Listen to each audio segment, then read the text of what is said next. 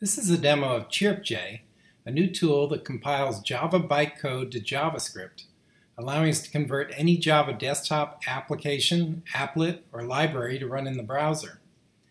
And I'm going to start with a few slides. And the slides themselves are actually a demo of CheerpJ, in that this was originally a Java desktop application to show a presentation, and we simply compiled it to JavaScript, so I'm going to run the version from the browser instead. And so CheerpJ is actually the fulfillment of a 20-year-old promise. Web 2.0 was supposed to be Java running in the browser. But there were problems with the Java plugin strategy as far as we didn't know if the plugin was installed in the browser, we didn't know what version it was. Uh, different plugins came from different platform vendors and ran different UI code. There were security issues, and eventually the browser vendors all went to war against plugins.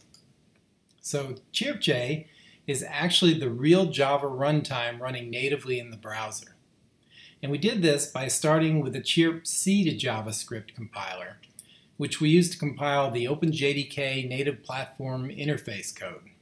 And then we used CheerpJ, Java to JavaScript compiler, to compile the actual OpenJDK runtime classes.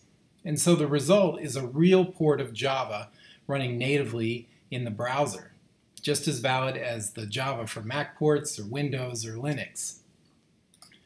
And so this fixes all the problems of the plugin.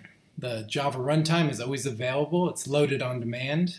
The runtime is always up to date. Every time it's run, it checks for an update.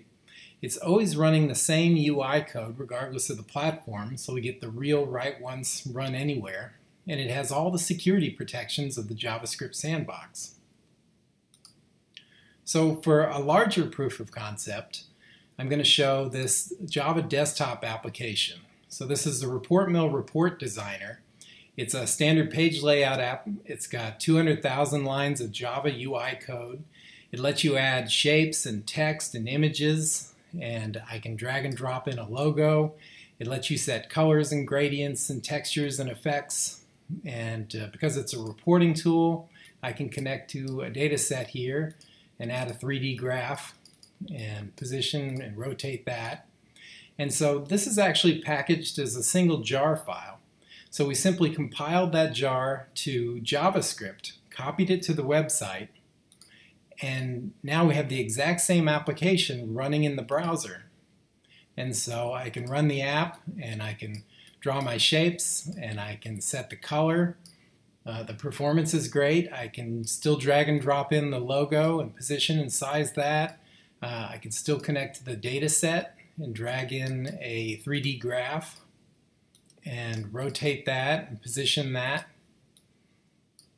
And so it's the exact same application with a single, single compile step running in the browser. So this really brings Java back to the browser. There's great performance. There's pixel for pixel identical rendering, bug for bug compatible. It's a single stack application running on the desktop and the browser, which reduces developer time and team size, cost, and complexity of a project. Uh, it's no longer necessary to have a hybrid application with half of it written in Java on the server and half written in JavaScript and HTML and CSS and AJAX on the client. And uh, of course, Java development itself has many advantages. Uh, once you write a program that's got more than a thousand lines of code, uh, it's nice to have it in a type language that catches more errors at compile time. There's a quicker iterate, compile, and run cycle. And uh, Java has modern IDEs and IDE features like refactoring and symbol lookups and a much better debug environment.